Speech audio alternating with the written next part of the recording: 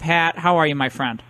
Doing fine, doing fine. How are you? I'm I'm good, but I, it looks like we're going to send ten thousand uh, troops and a mission creep over uh, over in the Gulf because of these uh, Iranian threats. Where where are we on that, Pat? Uh, I think the president of the United States, I don't think wants a war with Iran. I don't think the Iranians want a war with the United States. They would be horribly damaged. Many, all of their military assets would be destroyed in a major war.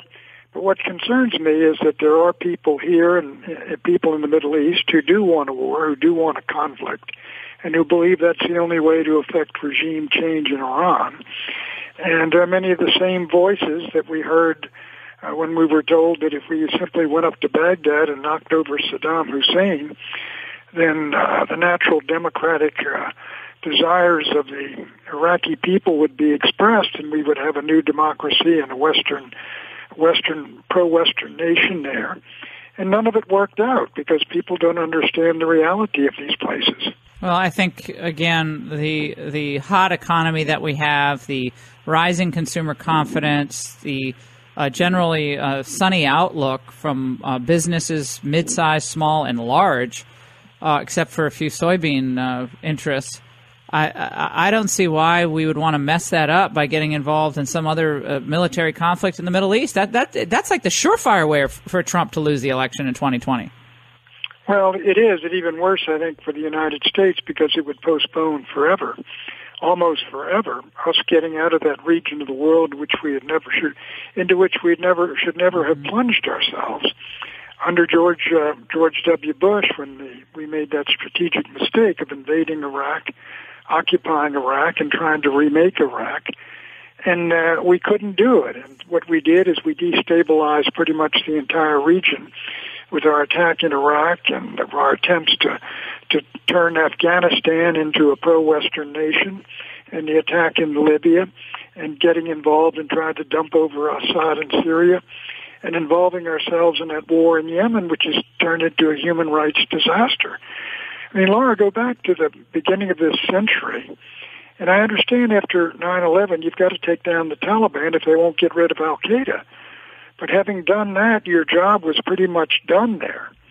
And what did we think we could accomplish by plunging in there? I mean, look at all the suffering and death. And it's something like, I think by Trump's count and others count, others count, uh, six trillion dollars in losses.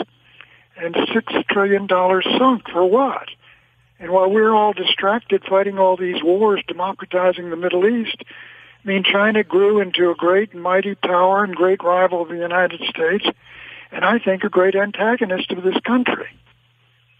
Well, and look at what we've uh, seen happen to our wealth, our military degraded, our, our men and women who've sacrificed, uh, paid the ultimate price. And we find that the trigger effect throughout the Middle East was devastating. I mean, you had the Syrian uh, crisis, you had the refugee crisis, you had the Mubarak out. Of course, what happened in Libya, uh, Benghazi, but the entire uh, Libyan uh, government, uh, radicalism busting out all over. I mean, again, the law of unintended consequences and, and you know, wide ranging effects. You know, but let me say, you know, I'm no fan of the Ayatollah's regime at all, and I think they, they detest the United States. They bear a grudge against Hideous. the United States. Yeah. But Iran is not the one that destabilized the Middle East. Two things destabilized it in this century. The first was the Arab Spring, where many of these old iron dictators and generals and others who had been in power a long time were overthrown by the masses in the streets and the second destabilizer was the massive military intervention of the United States and its allies, allies trying to remake these governments, these regimes, in our own image when the, the soil was not fertile for democratic liberal democracy. It, they, they had never known this. And so when you knocked over their present government, they would create new ones which reflected their beliefs and not ours. Well, and I think, again, we look back to 9/11 and that horrible day and the desire for retribution and and uh, and you're right we had to smash back at the Taliban. But oh my gosh I mean can you imagine if at the time you'd say okay we're going to do this then we're going to go into Iraq and then we're going to lose like uh, ultimately how many people did we lose in Iraq? Five thousand, uh, something 5, like that. Five thousand and two thousand in Afghanistan, yeah. and then forty thousand wounded, and I don't know how many others have come. Marriages destroyed, various suicides, problems, and social damage, and all the rest of it. Right. PTSD. But you know, let me ask you this, Laura. Suppose we had to do it over again, and this were now 2002, and I will say that we launched the American Conservative magazine to try to stop the rush yep. to war that the neocons were pushing Bush and Cheney and all mm-hmm. the rest. But imagine if we had not invaded Iraq. We had not tried to rebuild Afghanistan, but just did the job, got rid of the Taliban, got rid of Al Qaeda. We had not attacked uh, in Libya. We had not gotten involved with the Saudis in Yemen. If we had not tried to overthrow the government by aiding rebels in Syria. If we hadn't done any of these things, would be we be so horribly worse off than we are today? Which one of them is a success? Oh, I completely agree. I mean, this is this. We have to remember, Pat, that the reason I think one of the main reasons that Obama won in 2008, not just because he was a historic first, but because he was against the Iraq War. And, sure, he was the know, one fellow that stood up against it before the war began in the in the Democratic Party. I mean, there were people standing up against that war by George W. Bush but unfortunately they didn't succeed. But now we've got some of the same folks who think that we're going to settle the problem if we can change the regime in Iran. And I don't know how you do that absent an invasion and going up to Tehran and replacing the government, which would take, I saw recently, maybe a million troops to do. And we're not going to do that. Iran is three times the size of Iraq, almost three times the population, a much stronger army, and you know much better positioned strategically. And so I don't know. Uh, I don't know why we would do. What benefit are we going to get out of this? What? How does Iran threaten the United States of America right now?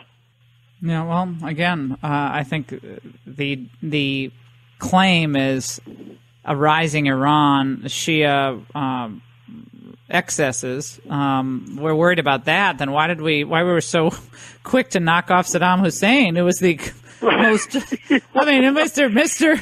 Mr. Uh, fought, chief he fought rival. The Iranians for eight years, and we knocked him over. And the Iranians walked in and said, "Let's get be friends with the majority Shia here." Yeah. Well, when I was in Iraq in 2006, it, w- it was when things were getting really bad, and I remember interviewing. Uh, uh, one of our top military leaders, and I can't remember his name. I'm, I'm, focusing on his face, and I can't remember his name. The general, commanding general in Iraq at the time, and he said, uh, "I said, well, why is it that all these IEDs I'm, I'm hearing they're being made in Iran? Like all these these IEDs, like have triggers and mechanisms that look Iranian made, and oh, they didn't like that when I asked that question, and it was because Iran was benefiting from the, you know, the destabilization of Iraq, and they wanted to have their foothold in there." I mean, period. Sure, the I mean, Saddam Hussein was the he fought in it was a war of aggression on Saddam's part, but he launched the war against Iran soon after the Iranian uh, the the Ayatollah's crowd overthrew the Shah's people and imposed a new regime. He launched that war. It lasted something like eight years, and the, the Iranian casualties were enormous. And for whatever you can say about Saddam, who was a real devil as a human being and an aggressor, I mean, he was a checkpoint uh, against uh, against the Iranians. And once uh, Saddam went down, who was represented the Sunnis up there in Anbar and the Sunni minority, which controlled the country, in the democracy, the Shia, the more numerous Shia, came to power, and mm-hmm. their cousins are in Tehran. No, absolutely her. Meanwhile, Pat, we have to. Yeah, no, it's like strategic brilliance. Yeah, and we had all the Muqtada al-Sadr. We had all these, all this, this. Now they're all over the parliament. Yeah, now they're now they're like, well, we're uh, so so we've driven a million Christians out of Iraq. No big deal. It's only their ancestral homeland. They lived in peace and security under the uh, vicious uh, Saddam. I mean, that was the bizarre thing. Remember, he had that uh, Tariq Aziz was his main. Uh, uh, his his uh, right hand man. Yeah, right hand man. He was uh, a Christian, yeah. And I, well, that's it. I thought we should have dealt with him because I, uh, they didn't. Saddam Hussein didn't want a war. Toward the end, he was asked, and almost ready to invite in the CIA. Come in and see for yourselves. We don't have these weapons of mass destruction you're talking about. Mm-hmm. And we're told that, you know, they got them all right. They've been meeting with Al Qaeda in, in Prague and they've been, they got a, they got a, one of these little Piper Cub type, type planes, which is going to drop all this anthrax on America's East Coast and all this other nonsense. And you know, it, you know, Colin Powell has a great reputation, but it's been damaged in history by what he had to testify to up at the United Nations.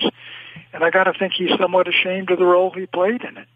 No, it was General Casey. I just remembered it. It was General George Casey. That's who I was talking to at the time. It was a great guy, but they were dealt. They were dealt. In, and then it was like the surge. How many times do we hear about the surge, Pat? Oh, the surge. It's successful. We got and then working with the. We're working with the tribal elders. I'm seeing these 21 year old kids, 22 year old kids, second lieutenant, just graduated from West Point, and they're in there trying to negotiate with these elders outside of Balad, and I'm thinking this is just crazy. We don't know. I mean, these are great American, great kids, but this is not what our military is equipped to do. It's a fighting force.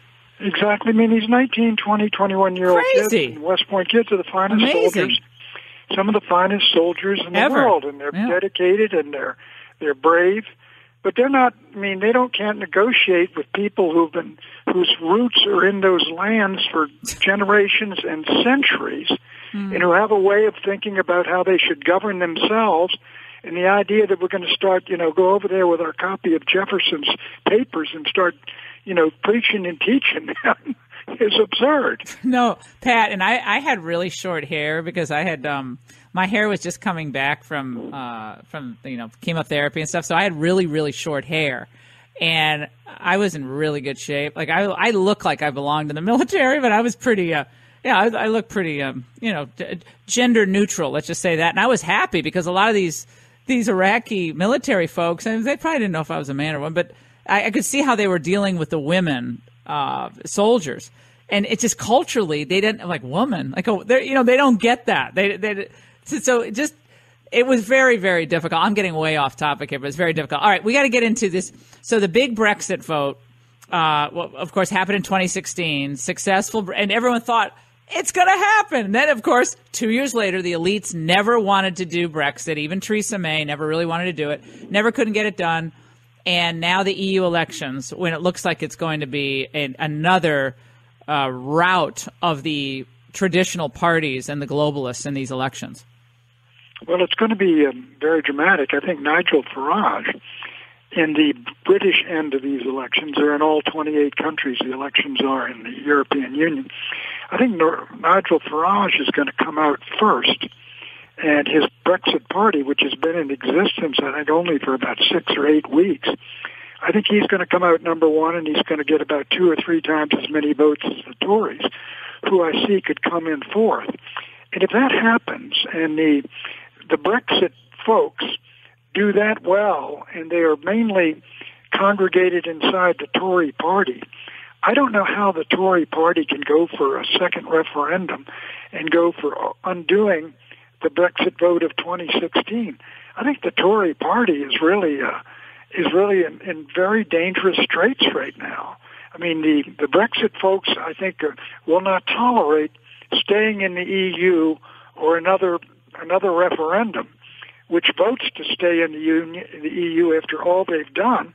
And I think they will walk out of that Tory party, and I don't know what happens to it. You could have that wonderful creature over there in the Labour Party possibly winning an election. Oh, God. Corbyn. What a, a complete disaster. Well, I mean, I mean, Boris Johnson, I think, is people think he's kind of crazy with his hair and stuff, but he's kind of like the British. he's kind of like Trumpian. He got the hair. You got you know. He was the mayor funny, of London. They've had some interesting folks here. Yeah, the hair. They call him the hair of London. Uh, yeah, he's, but, but he's he, Eton. He's very well educated, and I read in a piece just the other day that he's very well spoken and very well educated. And uh, uh, but he is. You're right. He's a. He seems to be quite a sort of a character. But I, my guess is I understand they they say you know after the elections if May goes down or and resigns, I think then they're going to have to they're going to have to replace her. And the final vote, I think, comes down to some 120,000 Tory party members, where Johnson is extremely strong. If he can win a runoff and get into that group, uh, or get into that final two, they say he will win it. Um, but it really is something. But this whole election, in I think people should look at it closely because Saturday and Sunday there's going to be some big headlines. Huge. I think uh, Marine Le Pen could well defeat the president of France in these elections. Uh, she's got the what are the Rally for France? I think is the yep. new party of the National Rally they call it. Oh, you mean the xenophobe? Okay, Pat. I mean she's yeah, a and then she's the, a nativist and, and xenophobe, then, terrible person. You mean? Okay. And then Matteo Salvini, I think it's going to his party's going to run number one in Italy, and he's a very powerful figure now in Europe.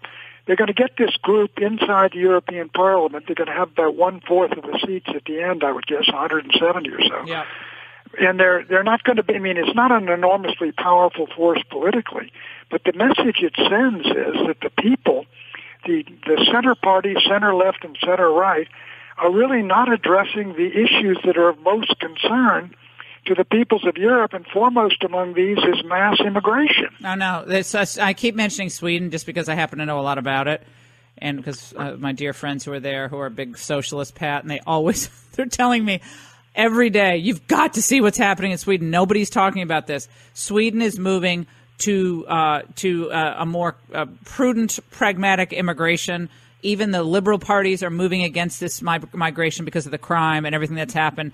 And you got this. Uh, so you got Sweden um, on the on the cusp here.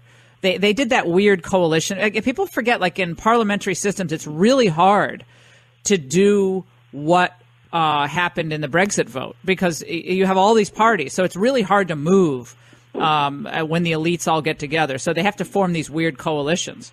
Uh, and, right. You know, you know, the you know I, I can recall back just say about 19 years ago, at the turn of the uh, century, there was you know just several of these new right populist parties, uh, more authoritarian in nature, outside the mainstream and people were disparaging it. But you've got them now, as you mentioned, in Sweden. You've got them in Britain. You've got them in France. You've got them in Italy.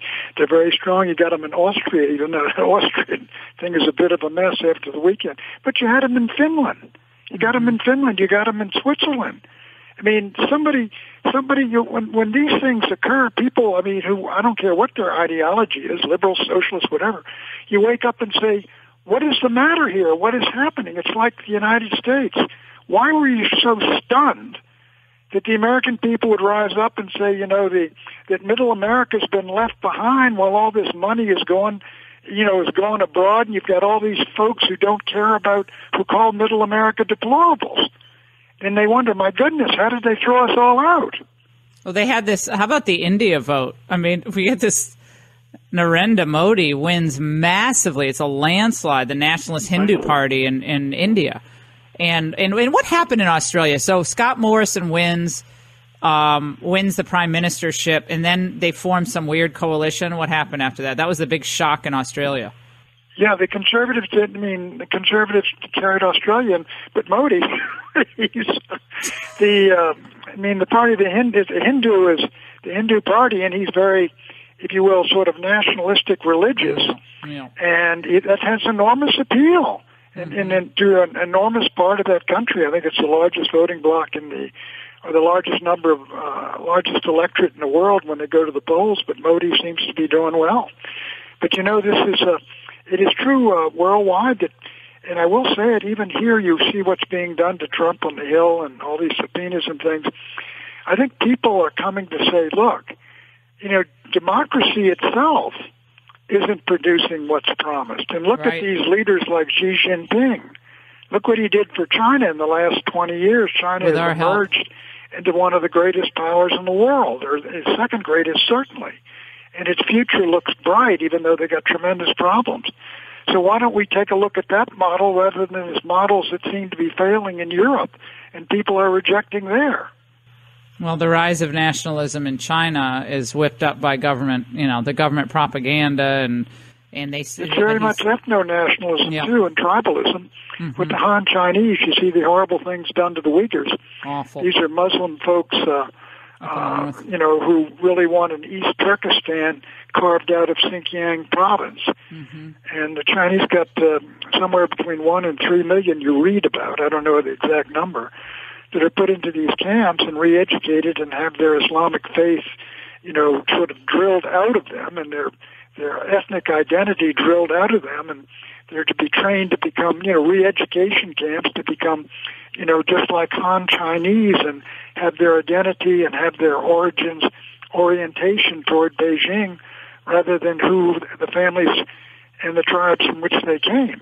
This is uh, this is quite an experiment. I mean, Americans know so little about China. I'm sorry, but it's really complicated. It's a massive, massive power now, and they they rose out of poverty mostly uh, because of the United States. I mean, we really the WTO and most favored sure. nation status. I mean, I we, mentioned, we got, enriched them. We, we bought four trillion dollars more in goods from them than they bought from us. And we all threw open the door, brought them into the WTO, gave them most favored nation treatment, where all their products made in China get easy access to the vast American market. So all these good, loyal American companies say, why not move our factories over there and produce there much more cheaply with fewer regulations and no taxes and no unions thing. Produce there, they make two bucks an hour or something, or a buck an hour, and then send the finished products to the United States. Profits will soar, the shareholders will be happy, and all the executives of the company can become, uh, you know, multimillionaires. And we did that for since the early 90s. Good old Republican Party, free trade party. And now everybody bemoans the consequences of it, and they said, "Good Lord, we got to stand up to China." Who built up China? No. I mean, who did. gave them all that money for all those ships in the South China Sea and those bases? I mean, who's financing the Belt and Road Initiative? It's good old Americans. Well, I got to say, you know what I else? remember As a very little No, kid, it's a- and I'm talking disaster. about real little. When I was a, it was during World War II, and you know, but I was three years old to seven. All I could hear about cursing of the people who had sold the scrap metal to Japan that we'd gotten back at Pearl Harbor. You know, but these guys didn't just sell scrap metal; they moved companies, plants, technology. You know, accommodated whatever the Chinese demanded for the privilege of basing themselves there and getting those low wages and stuff, and then sending their stuff to the United States to Walmart, and the money just poured in. Well, and and now they've you know now the consequences. Now they're they're saying they're not going to give us rare earth materials necessary Sure, for every computer. One of the things of, of economic patriotism that, that Hamilton and the others wanted to ensure was, you know, we got to end our dependence on Brit on the British. We don't make anything here. They found out during the Revolutionary War. We Whoops. need the French ships and the French guns and the French uniforms. And Hamilton says we got to rely on ourselves. You know, for habitation, for defense, uh, for for for food, all of these things. We got to make ourselves economically independent of the entire world, and we did. That's why we could stay out of World War One and World War Two, and we had no real no real crises here, and even uh, you know, and, and and we could take defend ourselves and feed ourselves and all the rest of it, while the British, you know, a couple of submarines around their islands almost sank them. Pat Buchanan, it is so great to talk to you uh, always. A historical perspective, political perspective, as um, as Nancy Pelosi is almost on a daily basis saying that she's praying for the president and hoping there's Which hope- way? hope, praying, praying for what to happen to him. tell you a story. Woodrow Yeah. Wilson, after he had his stroke, these Republican senators who were trying to kill his League of Nations and his Versailles Treaty came down and said, "We're praying for you, Mr. President." And Wilson said, "Which way, Senator?" Oh yeah, they wanted a certain. Oh, I just play. We'll just play this for you, Pat, just for good measure. Before we let you go, let's listen to Pelosi just moments ago. So, but the president again stormed out. I think what first pound the table, walk out the door. What? Next time, have the TV cameras in there while I have my say. That didn't work for him either. And now this time, another ten- temper tantrum. Uh, um, again, I speak. pray for the president of the United States. I wish that his family or his administration or his staff would have an intervention for the good of the country. Your reaction there. did she? She was a very low voice, already, but did she say we got to pray that the family has an intervention for the good Yeah. of the country? Yeah.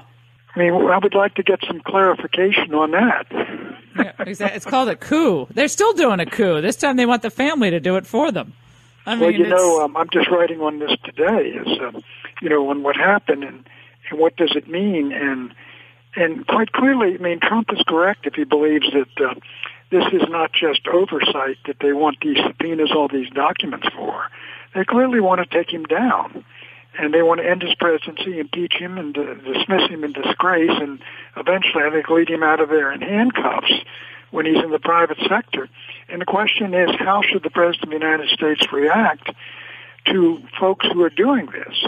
Should he cooperate in any way, or should he fight him with everything he's got, all the powers he's got? And that's my view that I think he's got to do, and I think he's sort of, when you hear yesterday, I think he's come to that conclusion that this is, Yeah. a, you know, a war to the end, and I'm going to fight all the way. Yeah, I think that he, I think that he's doing it the right thing. I first thought, well, maybe he should just sit down with them. But frankly, I didn't like the idea of a two trillion dollar infrastructure package anyway. I mean, wow, who we, who's paying for I that? don't think I think McConnell agrees with you. yeah, I like what? Two Yeah, a, you know, it's an enormous amount of money, exactly, and uh, and where are they going to get? Where are they going to borrow it to do that? Yeah, help the Chinese again, Pat. The, the, the Chinese there's will buy our debt. You build the roads, you got to use American labor. yeah, exactly. Well, by, by the way, the the Italians. This is a mistake that Salvini made. They they signed this big deal with China, like a seventeen Right. billion dollar deal with They're China. bringing in The- the Chinese to do the building. Yep, yep. Ukraine just signed some big deal, Belt and Road. See, a lot of these countries are cash strapped after all this globalization. They're pa- they're cash strapped uh, because of all this uh, not, and social welfare They're state. They think in that debt. Yeah. yeah, now they think the Chinese are going to help them. Canada tried that. Now they're trying to get, wiggle out of of their relationship with China because of what's happened in Canada. So they're all finding You know- out that there's strings attached with the Chinese Well, not investment. only strings. That's right. The the, the Chinese Power. build the ports and. And you got you run the ports, and then when you default on your debts, they take over the ports, and they, Yeah. uh, they it's the ports belong to them. It's you That's know right. it's a sort of quasi-imperial strategy, and it's working. But there has been, I noticed, in Southeast Asia, a reaction. I think in Malaysia and elsewhere, they say, "Look, we don't want your money because we know what comes with it. If and when we default, you're not going to have the IMF bailing us out. You guys come and take the port." How do you think uh, Taiwan's feeling right now, Pat? You think they're feeling Well, secure? Taiwan is deeply tied to China Yeah. right now. In terms of trade, uh, China's its number one trade partner. Yeah. It's very dependent on on on China, and the um, one of the parties there is is much more interested in independence. Uh, I think it's the old Kuomintang of Chiang, which is now much more cozied up to to Beijing than the other party. But I don't think I think if if Taiwan declared independence, um, that would be a casus belli for Beijing. I don't Oh, I think lo- Beijing would let it happen. I love it when you say causus belli. Cause, um, uh, spur of war, right? Causus, cau- causus, Cause of war, yeah. Cause of war, you know. But uh, my daughter's just learning, um, uh, you know, her vocabulary. So we're doing the Latin and the Greek and the bellicose and what is bella and bella's war, war in Spanish. Oh my gosh, going through all that, Pat. Remember that those days in the old old Catholic school days, Pat, with the Latin. It really helps you to this day. Six years of Latin, and when we were freshmen in high school, we had it twice a day. Oh my God, Gonzaga! This is the, the Buchanan boys. When they weren't in fist fights, they were doing their Latin drills. That was good. Uh, Pat, we love you. Thank you so much for joining us. We just love having you. okay, you. on. take it easy. Bye bye.